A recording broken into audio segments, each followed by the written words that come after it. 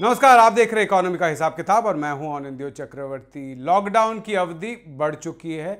हम सब जो अभी इसको देख रहे हैं, इस वीडियो को, आप जो देख रहे हैं, हो सकता है ज़्यादातर उनमें से तीन मई तक आप सबको घर पर बैठना पड़ेगा। हाँ बहुतों को 20 अप्रैल से छूट मिलेगी, जैसे कि जो खेत मजूर हैं, वो काम कर पाएँगे, वो अपना फ़सल जो है उसको मंडी तक ले जा पाएँगे।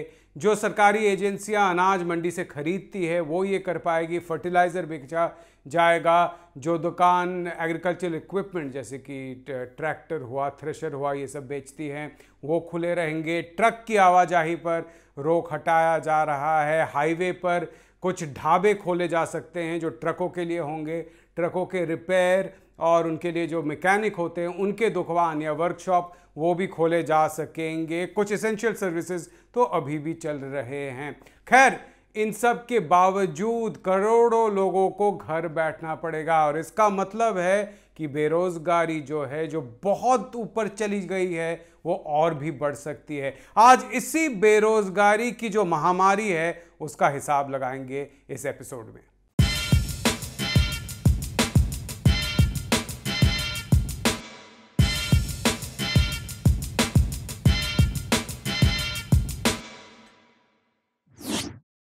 हमारे देश की आबादी लगभग 138 करोड़ है और उनमें से काम करने लायक लोग जो काम कर सकते हैं, जिसको वर्किंग एज पॉपुलेशन कहा जाता है, वो लगभग 100 करोड़ है।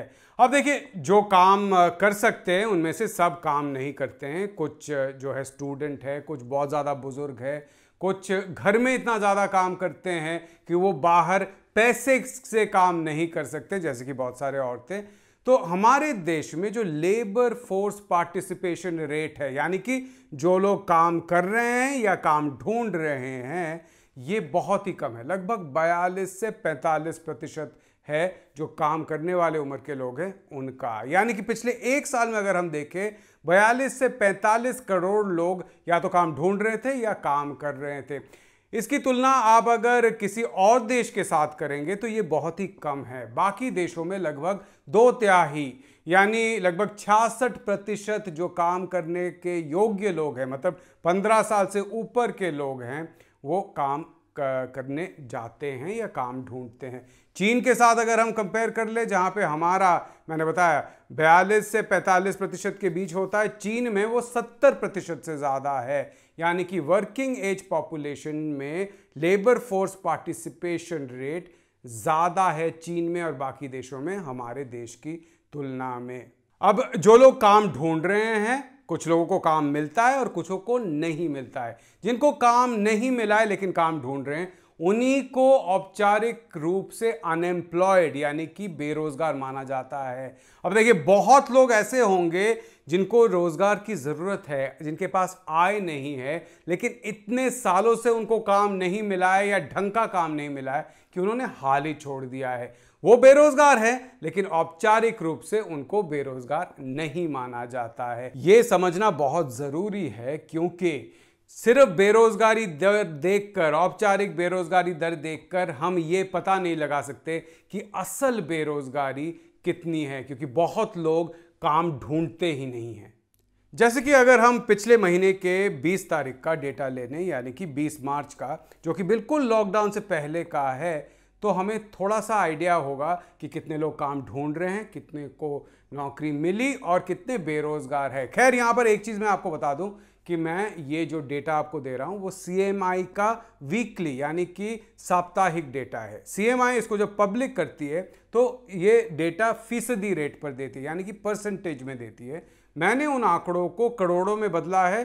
थोड़ा बहुत इधर उधर होगा, लेकिन ज़्यादा फ़र्क इसमें नहीं आएगा। इसको याद कराकर आपको मैं आगे बढ़ता हूँ। तो 20 मार्च का जो डेटा हमारे सामने है सीएमआई का, उसमें हमारे सामने दिख रहा है कि लगभग 42 करोड़ से ज़्यादा, लगभग 43 करोड़ लोग काम ढूंढ रहे थे और उनमें से उनतालीस करोड़ से थोड़ा ज़्यादा लोगों को काम मिला हुआ था। यानी कि अगर हम देखें तो साढ़े तीन करोड़ लोग बेरोजगार थे। ये लॉकडाउन से तुरंत पहले की बात है। अब अगर हम लॉकडाउन के तीन हफ़्ते बाद की बात ले लें, जो कि सीएमआई का लेटेस्ट डेटा है, जो बारह अप्रैल तक का डेटा उनके सामने है ये तो अब देखिए कितने लोग हैं। मैंने आपको बताया था कि 43 करोड़ लोग के आसपास लोग काम ढूंढ रहे थे पहले, यानी कि लेबर फोर्स में पार्टिसिपेट कर रहे थे। वो गिरकर 36 करोड़ से कम हो गया।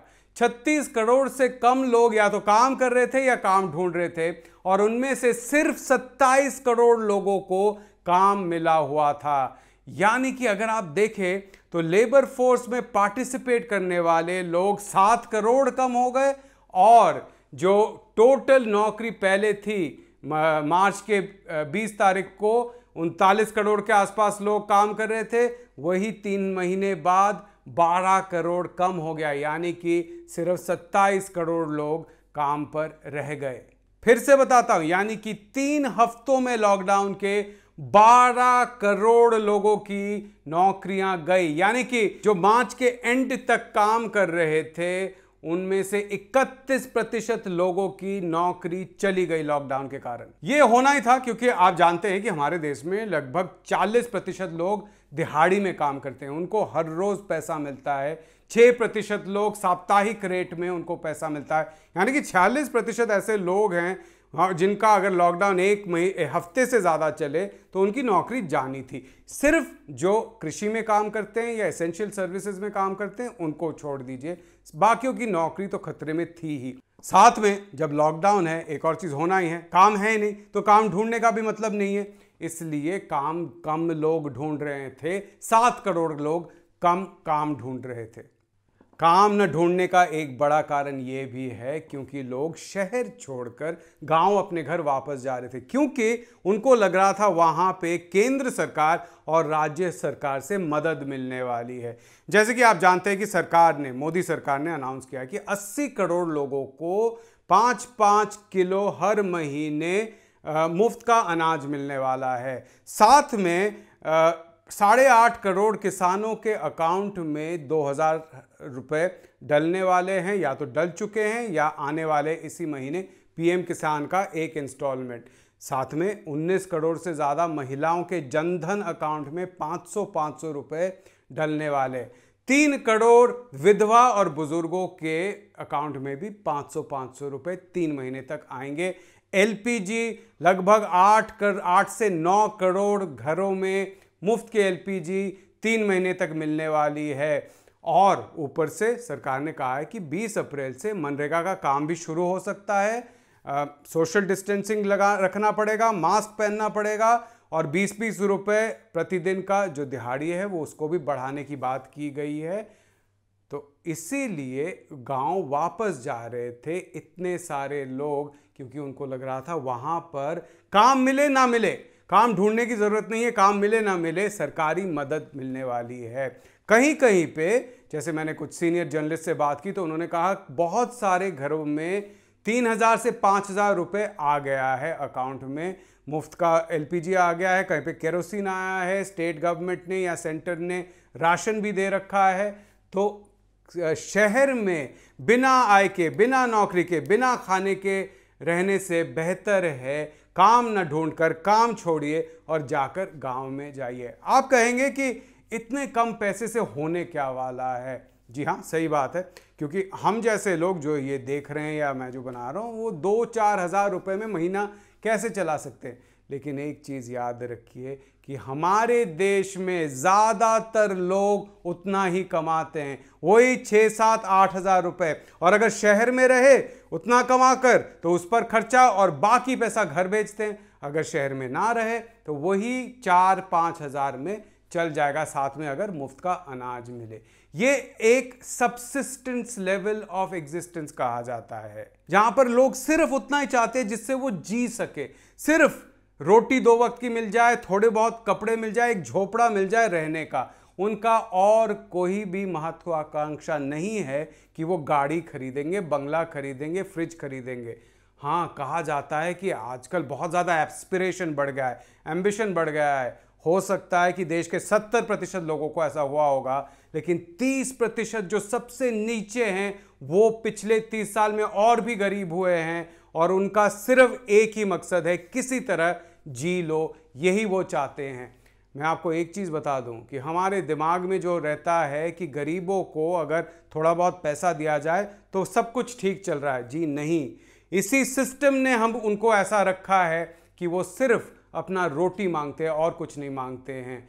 इसीलिए इस सिस्टम को बदलने की ज़रूरत है, ताकि देश के जो सबसे गरीब 20-30 प्रतिशत लोग हैं, जो किसी तरह सिर्फ़ जीना चाहते हैं, वो भी एक अच्छे ज़िंदगी के लिए लड़ना सीखे।